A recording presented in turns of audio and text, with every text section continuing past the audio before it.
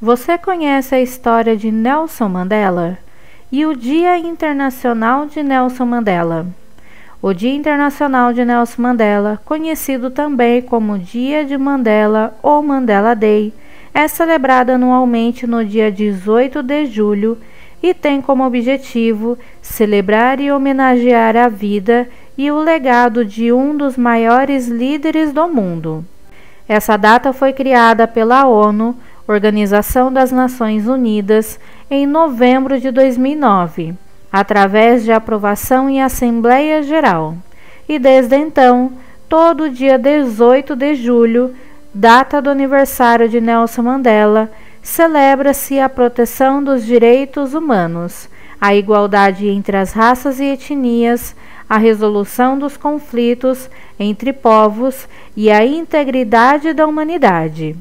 Você está no canal Amor Além da Diversidade. Aproveite o nosso conteúdo, se inscreva e ative o sininho de notificações para acompanhar nossos próximos vídeos.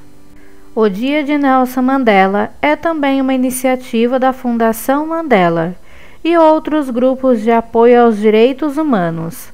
Nelson Mandela dedicou 67 anos da sua vida na luta pela paz na humanidade e pelos direitos humanos. Nelson Mandela lutou pela construção de uma vida melhor para o seu povo, garantindo a igualdade social, política e econômica para todos os negros que viviam na África do Sul durante o regime do apartheid.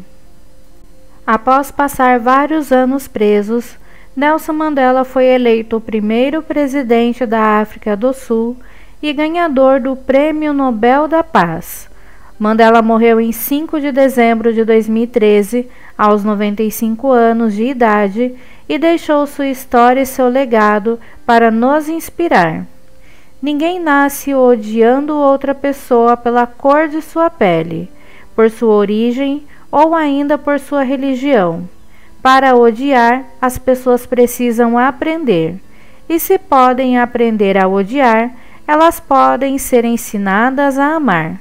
Nelson Mandela. Agradeço a você que chegou até o final desse vídeo e aproveite para curtir, compartilhar e se inscrever no canal. Até o próximo vídeo.